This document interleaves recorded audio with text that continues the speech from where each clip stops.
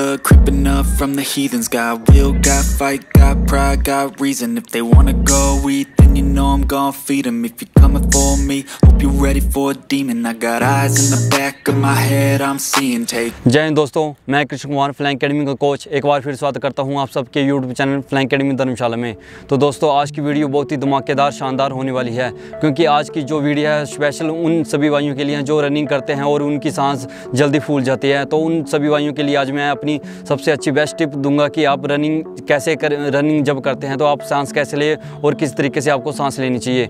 तो आपका ज़्यादा समय न लेते हुए आज की वीडियो को शुरू करते हैं। दोस्तों, जब आपने रनिंग की शुरुआत की होगी तो सबसे पहले आपको जो है रनिंग करते बार आपकी सांस की समस्या होगी। तो मैं आज वही समस्या आपकी दूर करूँगा तो उसके लिए मतलब आपको टिप्स दूँगा। तो सबसे पहले जो हम सांस रनिंग के दौरान सांस लेते हैं, वो हम दो तरीके से लेते हैं नॉर्मल ब्रीथ और डीप ब्रीथ नॉर्मल ब्रीथ में हम जो है अपनी लंग्स का इस्तेमाल करते हैं, और जो डीप ब्रीथ है, उसमें हम लंग्स के साथ साथ पेट का इस्तेमाल करते हैं, और जब हम सांस लेते हैं तो जो पेट है, हमारा फूल जाता है। तो दोस्तों, आप बात करते हैं कि हमें रनिंग के दौरान कैसे सांस लेनी चाहिए? या हमें नाक से सांस लेनी चाहिए या हमें मुँह से सांस लेनी चाहिए? तो मैं आपको बताना चाहता हूँ कि जब, दोस्तों, जब भी आपका स्लो वर्कआउट होगा तो उसमें आप आप हमेशा अपनी नाक का इस्तेमाल करें ना कि अपने मुँह का इस्तेमाल करें। और जब आपका स्पीड वर्कआउट होगा, जैसे 400 की रेपटेशन 800 की रेपटेशन या 200 की रेपटेशन जैसे स्पीड वर्कआउट होता है या फार्ट लेग रनिंग होती है तो आप अपने मुँह का इस्तेमाल जो है करें। साथ में आप नाक से सांस लें और मुँह से छोड़े सांस को। और जब भी दोस्तों मैं आपको ये बात बताना चाहता हूँ, जब भी आप मतलब जो है सांस लेते हैं तो जितनी सांस आप लेते हैं, उतनी ही सांस आप बाहर छोड़े। इससे क्या होता है कि जब आप सांस लेते हैं तो आप जब सांस छोड़ते हैं तो आप सांस बिल्कुल जो है कम छोड़ते हैं, जिससे क्या होता है कि वहाँ, हमारे अंदर जो है कार्बन डाइऑक्साइड की मात्रा जो है बनी रहती है। तो उसके कारण जो है हमारी ऑक्सीजन जो है हमारे लंग्स के अंदर नहीं आती और हमें हमारी हमारी बॉडी जो है जल्दी थक जाती है, जिसके कारण हमें रुकना पड़ता है।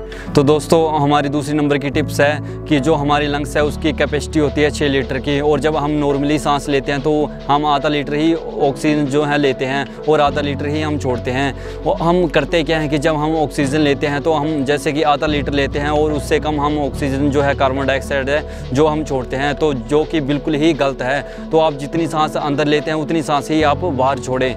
इससे क्या होगा कि आप जल्दी थकोगे नहीं और आपका जो वर्कआउट होगा, वो आप अच्छे से करोगे।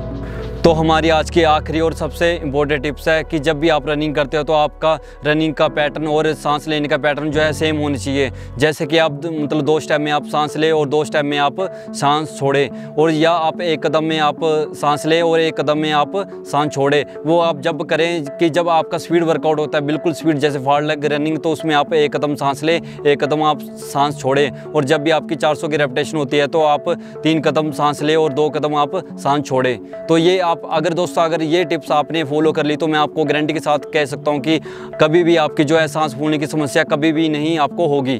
तो दोस्तों, ये थी हमारी आज की वीडियो और आज की मेरी सभी टिप्स तो अगर दोस्तों आपको वीडियो अच्छी लगी हो या मेरी जो टिप्स है जो आपको अच्छी लगी हो तो मुझे कमेंट बॉक्स में कमेंट करके ज़रूर बताएँ और दोस्तों आपको कोई भी समस्या होगी वर्कआउट से लेके या डाइट से लेके तो मुझे कमेंट बॉक्स में कमेंट करें मैं आपका ज़रूर रिप्लाई करूँगा अगर दोस्तों आप हमारे चैनल पर नहीं जुड़े हैं तो हमारे चैनल को लाइक शेयर एंड सब्सक्राइब ज़रूर करें तो मिलते हैं दोस्तों अगली वीडियो में नए टॉपिक के साथ तब तक के लिए जय हिंद जय Bharat I, I, I can feel the blood creeping up from the heathens. Got will.